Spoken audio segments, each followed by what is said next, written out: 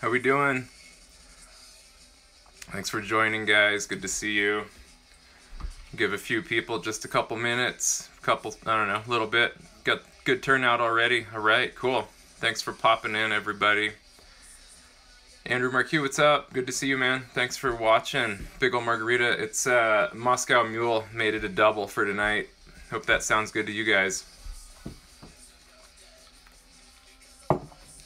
Tito's Mule, my favorite. Yeah, yep. Removed the beard. First time I've seen my chin since about 2011. All right, guys. Uh, I'm gonna get going here. Got a good turnout, so let's uh, get after it. So this is my Bob Gnarly mouse, right? Uh, I'm gonna work through this guy first, and then we'll do my 64 Impala salmon fly uh, second. Uh, this guy is one of my favorite things I've ever come up with. It's uh, came up with it guiding on the Kanektok River and a few days on the Arolik when I was working for Alaska West back in 2010. What was I doing on this day in 2011? Uh, what is it? It's April, probably guiding on the Arkansas River in Colorado. It was a good Mother's Day caddis hatch time, kind of April, May. That's probably what I was doing. Or no, 2011. That's when I moved to Seattle. Probably trying to steelhead fish or something. All right, anyway.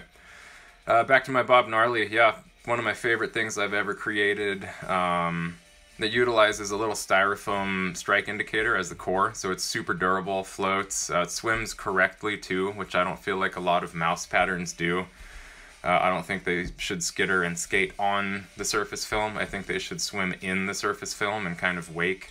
So that's kind of what this guy does. Um, so there's a finished product. Uh, I did a little practice run yesterday just to make sure that I could remember how to tie this because I haven't done one for probably a year or so.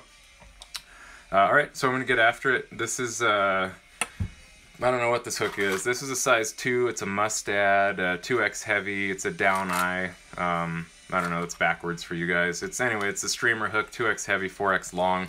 This is gonna serve as kind of the shank that we're gonna tie this mouse pattern on. Uh, so, get it started here. Lay down a nice tight thread base.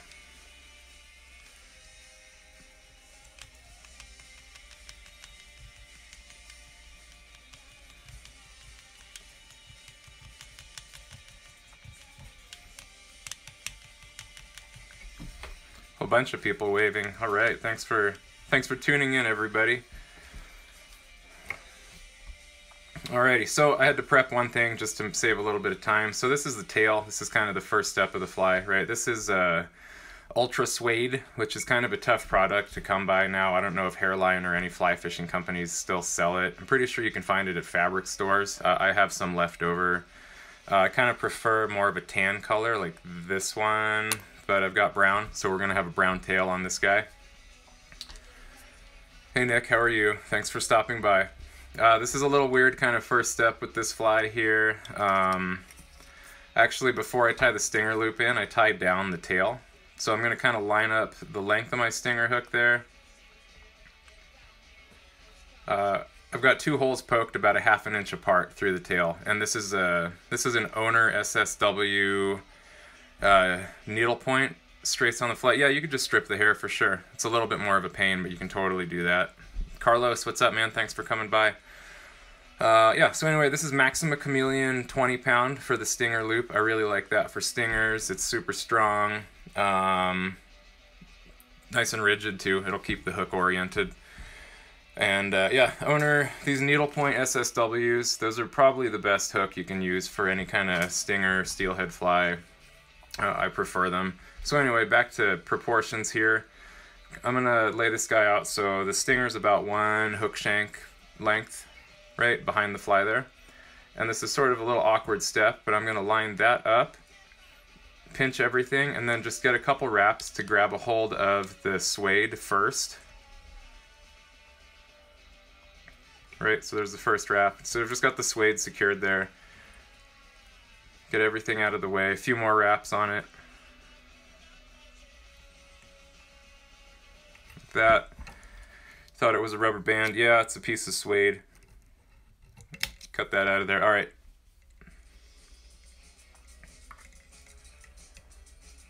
Alrighty, I'll get this guy oriented now.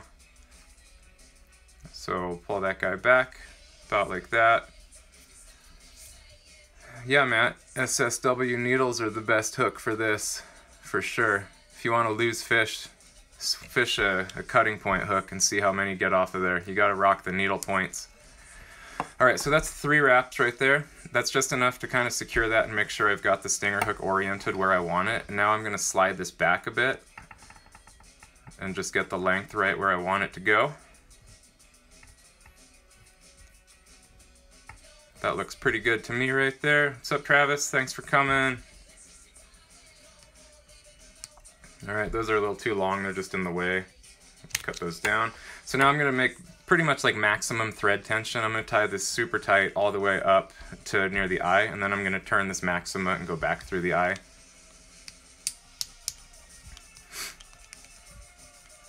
Uh, I'm using Ultra Thread 140, by the way. This is uh, kind of my favorite thread. I tie with this stuff a bunch.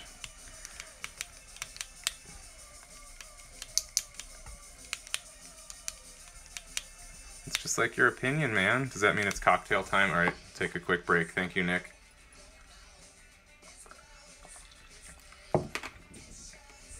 It's a good Moscow mule right there.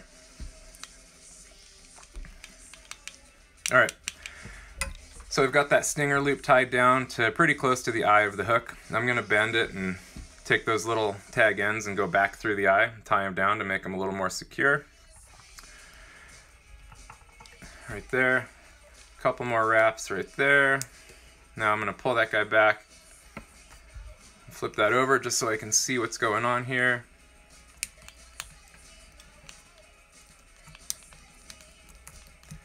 All right, so that's enough right there. If you can kind of tell where that's at, that's sufficient. That's uh, That'll never pull out right there. You don't need to super glue it. Um, you don't need to like go the full length with a stinger hook. I've seen somebody even go three times. Hey, what's up? There's Rick. Thanks for coming, Rick. How's life in Wrangell? All right, stinger loops in there.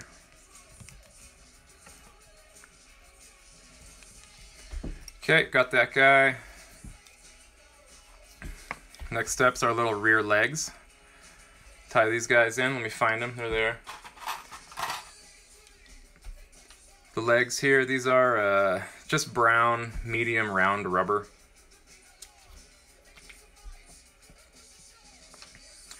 And it's actually two strands that I'm leaving stuck together. I'll tie a little knot in there just so it kind of gives the leg a little joint. If you want to, you can throw a drop of super glue on it and that'll keep the leg from coming untied. Uh, I'm not going to do that and wait for glue to dry. Alright, so we've got a little, little knot, little joint there. Lengthwise, I want this guy to uh, not get caught in the bend of the hook, right? So I'm going to put it so the little joint is about halfway back to the bend of that stinger hook. Tie this guy in on my side.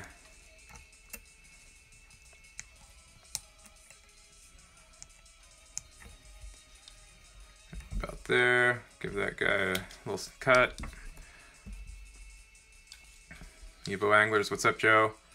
All right, throw another one on the opposite side, line it up so the joint, uh, aka the little knot, is in about the same position.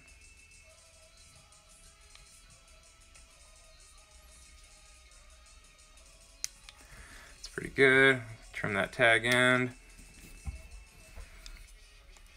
Rick just got done slaying the steel. Who's surprised that that's what Rick says? All right, I'm gonna trim these back legs just so they're about even with the bend of the stinger hook there. If you go too long, they can get tangled up in that guy, so cut them just about like that. All right, so we have legs there on this little mouse. Fly fishing. Oh, Rachel, what's up? Thanks for coming. I know. I probably had a mustache when I met you in Chile like 12 years ago.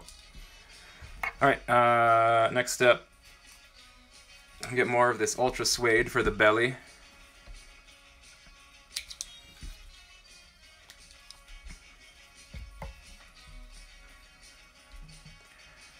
So this is the underside, so I'm just going to secure this. A bunch of stuff gets tied in at the same, same location in the back of the fly here.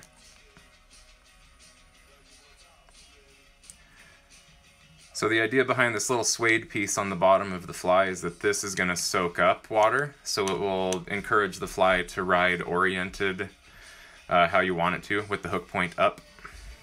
Right, so that little piece that I just tied in, that's going to be the belly of the mouse.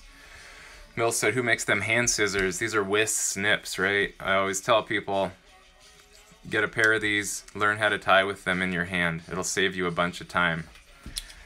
This mustache, that's good, yeah. Got the ultra suede mustache. That's a good call right there. Straight Semperfli. No, I don't know who that is, but these are from Wiss. They're a sewing company. You can also get them from Hareline and Rainy's. All right, um, where's my rabbit for the sides of the fly? Somewhere. Did my cat steal it? There it is. All right, uh, I'm gonna use these brown barred guys. I like tan, but I couldn't find them, so this looks pretty cool. Feather Forge Fly Chronicles of Cod. You got a cool blog back in the day. I guess you still do. I just don't really look at blogs that much anymore. Alright. I'm going to cut two chunks of this. This will be either side of the fly. All right, uh, lengthwise, there's to be some to cut off at the end. This is like two inches or so. What I want to do with this, we're eventually to flip this piece around and pull it forward, right? As you can see in the finished fly here, see how the fibers are oriented so they're kind of going back, you know, right? If the fly is swimming that way. So you got to tie them in backwards because we're to flip them around.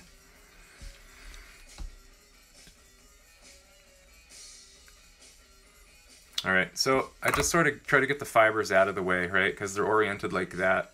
So pull them out of the way, just kind of pinch it. You can try to get it wet or spit on them or something if you want. Uh, I don't know, I don't really feel like that's always super necessary. So this is my side of the fly facing backwards, right? You can kind of see, you can't see anything there, it's just a big white puff. Hang on. Good enough, right? All right, so there's one that's on my side. I'm gonna do the other little rabbit strip for the side. This one's kind of haggard, but once I get it in there, it'll be all right.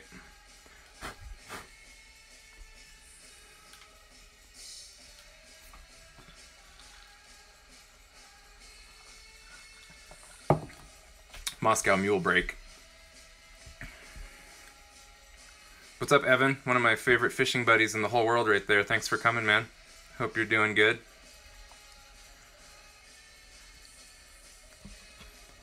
All right, so there's another chunk of rabbit tied, oriented kind of reverse, if you will. And again, like I said, this is kind of a big messy tie-in here. There's going to be a number of things going on, but then we just hide it all underneath a little styrofoam ball. What's up, David? Yo, dude. Um, this is pink 2 millimeter foam. This is kind of the last thing that goes on the back. This is that little top top layer of the fly.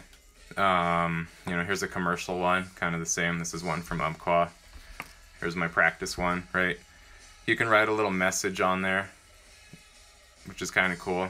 Usually helps encourage the fish to eat your fly. Uh, width-wise on this, uh, kind of match that back gap, maybe a little bit less. I'll show you. You kind of cut a little bit of a taper to it as well.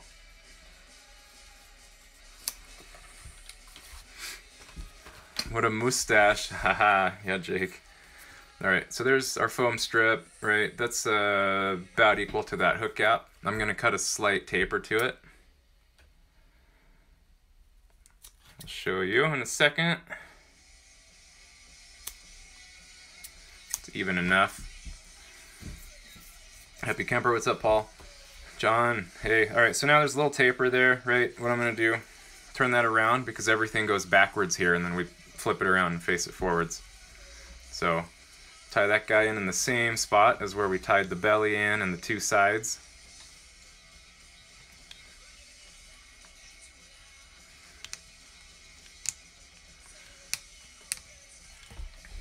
Right, so we have the belly tied in there, the two sides of the rabbit, and we have the pink foam strip that goes over the top. It's a bunch of stuff in one spot. Now I'm just going to advance my thread to kind of the midpoint of the shank find my whip finisher. I'm just going to throw a little whip finish right out here in no man's land. right in the center of the hook shank there. Jay said, have you ever moused in the lower 48? Yeah, for sure. I've fed this fly to trout in Colorado and here in Montana um, during nighttime and daytime, actually. Um, I just kind of look at it as a floating streamer. Uh, it certainly works. It's like lower lower probability, but you can still get trout to come out and eat these things. It's not just like Alaska or Kamchatka. So yeah. Um, yeah, there we go, right? So there's all that, whip finished, just like a mess. This is kind of the core of the whole fly, right? It's a, uh, here's a white one right there. You can barely see in there, the practice one that I did. So this is a half inch teardrop float. It's like a little strike indicator. Um, these lake fishing ones are kind of similar. I kind of pulled these out of my lake fishing stuff, right? You see these in your fly shop. They're pretty close. It's like a little styrofoam float. Um, the trick to getting these things to uh, to fit, right? You kind of have to hollow out the ends a little bit. The hole's more like the size of a toothpick that you would normally jam through there. So I just take my scissors and just sort of grind it out. Yeah, lake bobbers. There you go, Mills. Exactly. What do I use for the tail? Somebody said it's uh, ultra suede. Um, you could take a rabbit strip probably and just try to trim the hair off of it too. But I like the ultra suede. But like I was saying earlier, it's become kind of hard to find. So yeah, all right, that guy, right? I kind of cracked this one a little bit. They're sort of fragile when you're grinding on them, but whatever. All right, just got to force it on there. Great. So now that's going to form the core of the fly.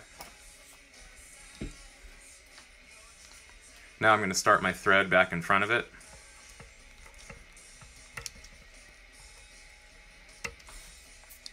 Now it's just a matter of pulling those four things over the top of the, the little styrofoam float that we put in here, right?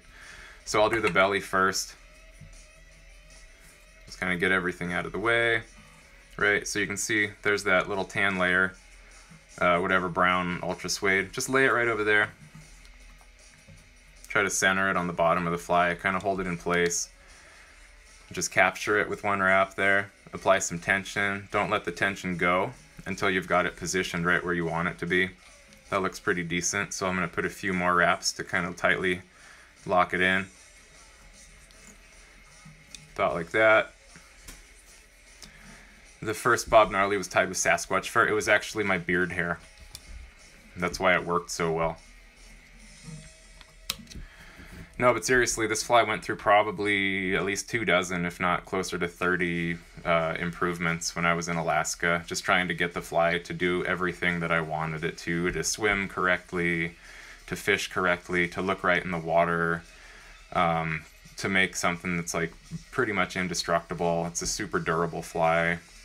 One cool thing about this fly too is it skips really well, so a good caster can like skip it under and around obstacles, uh, which is pretty fun. You know, if there's like brush and you're like mousing and stuff, you can kind of like overpower your cast short of your target and you can get the fly to skip really well. All right, so the belly is now tied on there. Now I'm gonna pull the sides forward. So like I was saying, you orient the rabbit fur with the fibers what seems like backwards at first because you flip it around and tie it in facing this way. And this is going on my side of the fly now.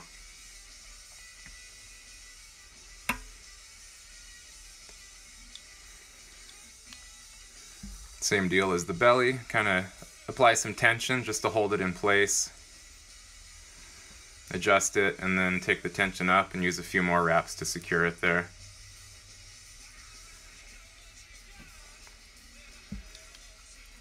Have I ever wrangled a delicious bass with it? Uh, I haven't. I should probably try to fix that, huh, John? Alright, so there's a few wraps to hold that in trim that. Do the other side.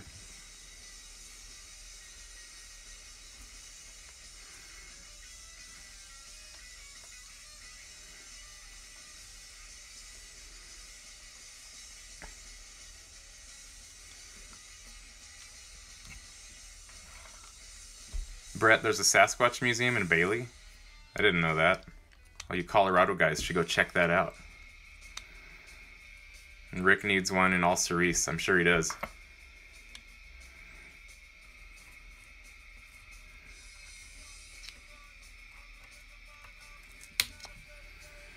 All right. So there's the two, the belly, the two sides are tied in now.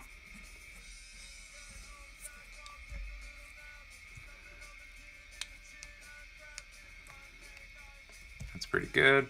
All right, now I'm gonna pull the pink foam over the top.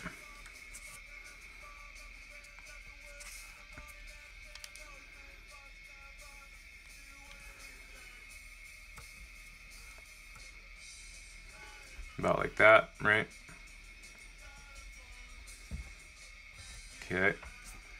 Now I'm going to bury a little segment here where I'm going to tie in the, the head of the fly in a second. So advance my thread behind the eye. Kind of hold everything in place.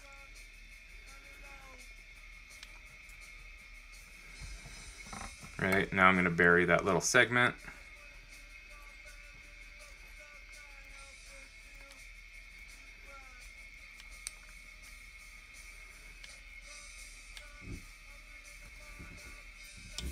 That's sufficient right there. The Sasquatch Museum is a glorified storage closet. That's awesome. Uh, I need my tan. There it is. UV dub, ice dub, brown. use that kind of tan. What's up, Brian? Brian Farnsworth and Brett Butson, back-to-back -back comments there, and I bet you guys haven't seen each other in years.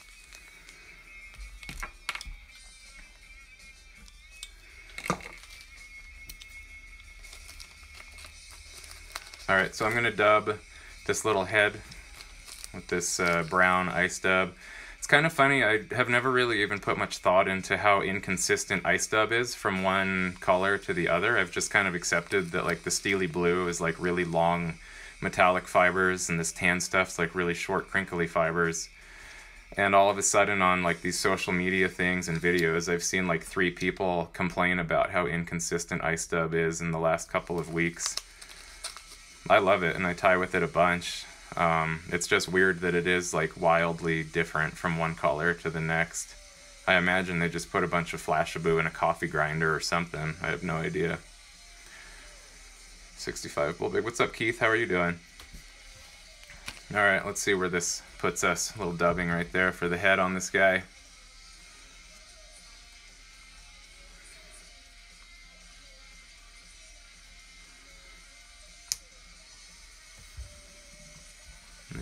One, one more wrap maybe.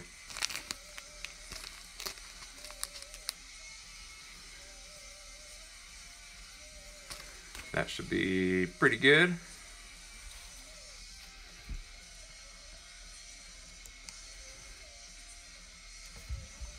Yeah, that looks good. Alright, so there's a little dubbed head. I don't know if the dubbing really serves that much of a purpose, but I like how the fly looks with the little built-up dubbed part there. Uh, next step, right, we'll see the finished product there. There's that red layer in there. So I'm going to cut a little chunk of red foam to tie in now.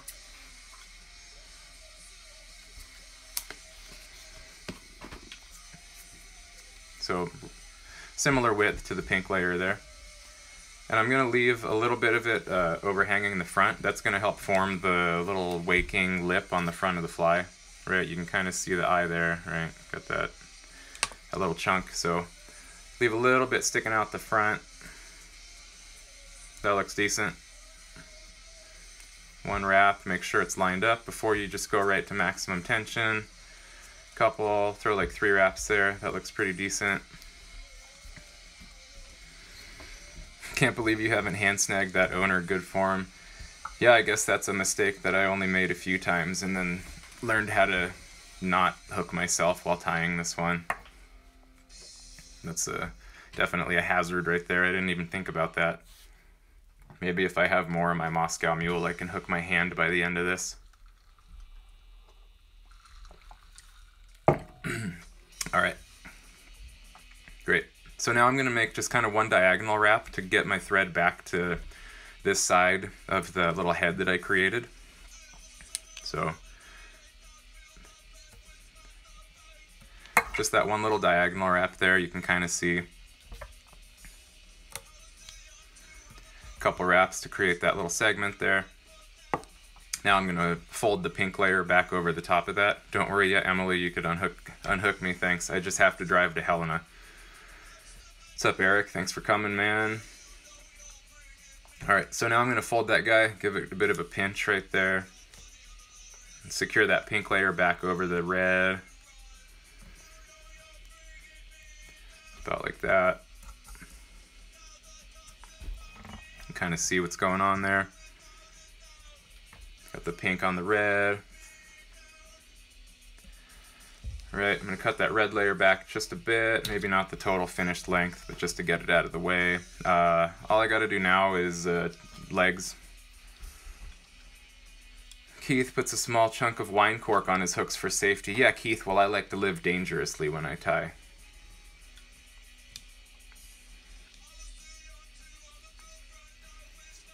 All right, again, that's two strands of brown round rubber. And again, I'm gonna throw a little knot right in the middle of it just so we kind of get a little segmented or whatever, like a, a knee joint or something. Right, there's one.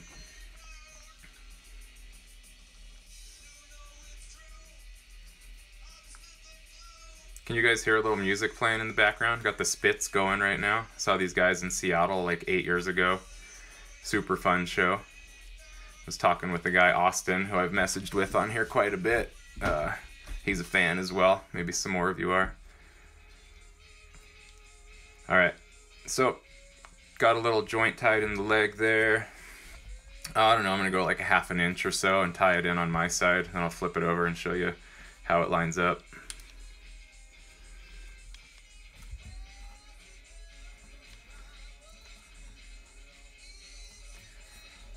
Right, all right, something like that. Yeah, you can kind of see that. Do the other side. Spits rule. Yeah, right, Eric. All right, same deal. I'm gonna kind of eyeball it, line it up so that leg joint is the same length as the other side.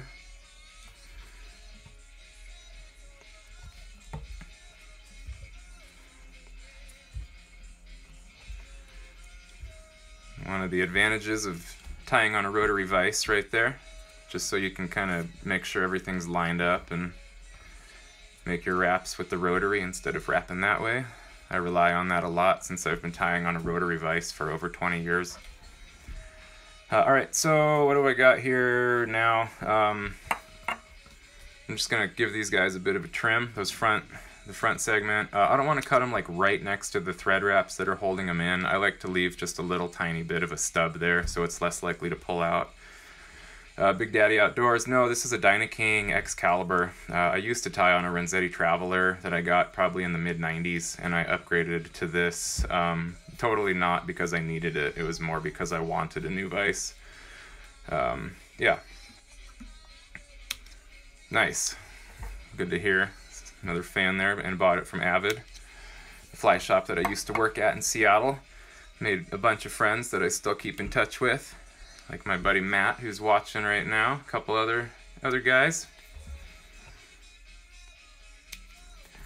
All right, so I've got those legs trimmed right there. Um, did I forget anything? No, I think I can whip finish it at this point. I throw the whip finish right where it's at there. I don't really worry about going up there behind the eye. I'll probably just throw two whip finishes in there.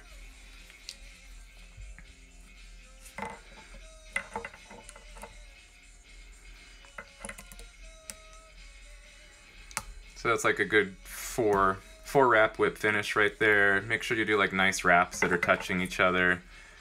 Um, something that I've always done and only recently I saw Charlie Craven actually pointed it out in one of his presentations.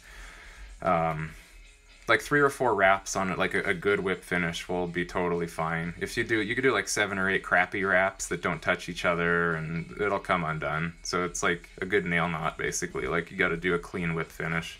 Same deal. All right, so that's that. I'm gonna trim the uh, the foam right there.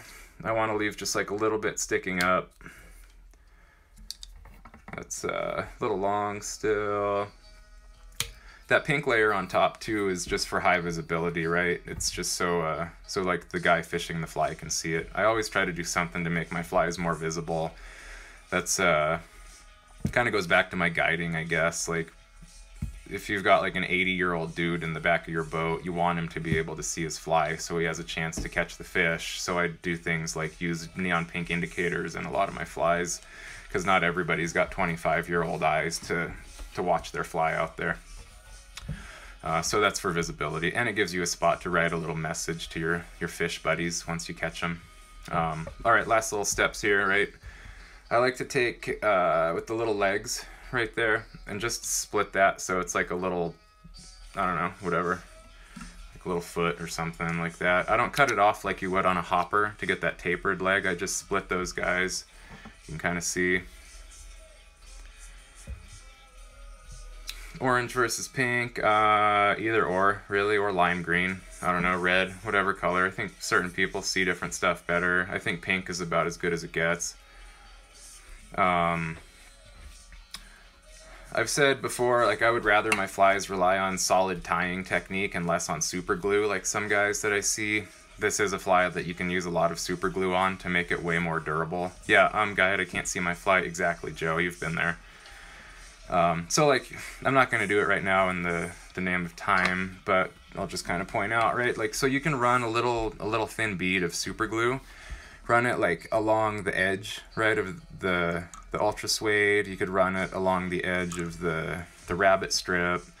Before you pull the pink foam forward, you could put a little super glue under that, a little glue there. You could drop a glue where the legs go in. All those little steps will make this fly uh, practically indestructible. There's not a lot that can go wrong with it once you've got it all tied up and if you glue it and stuff.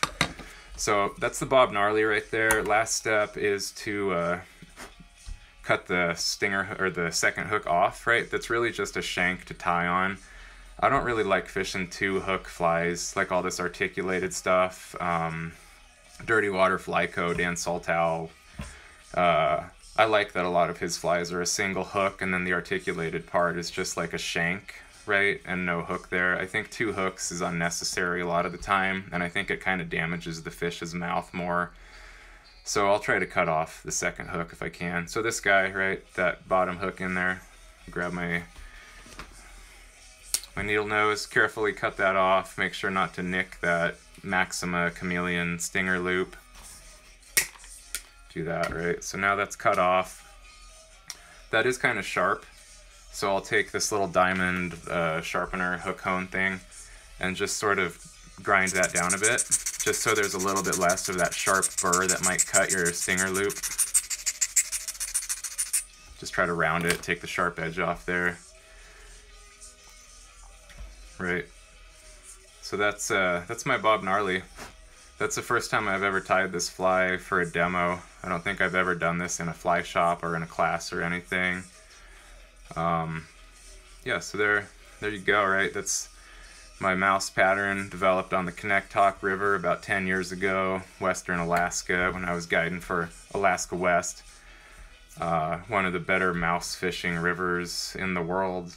I, from what I gather, I don't know. It was awesome. We'd catch tons of nice rainbows. They have the leopard rainbows, which are cool. Dollies love this thing too. Um, yeah, and like I was saying, I've caught trout on this in Colorado and Montana as well.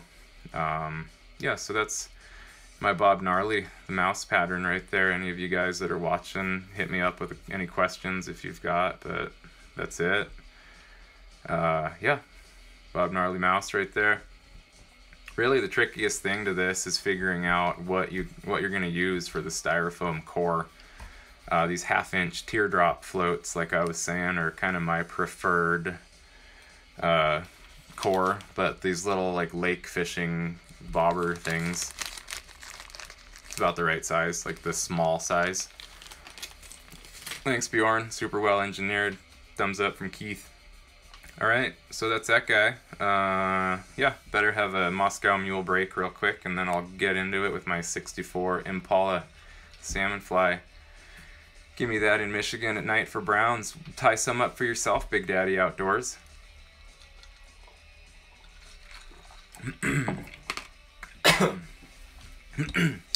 or have your local fly shop buy a bunch from Umpqua.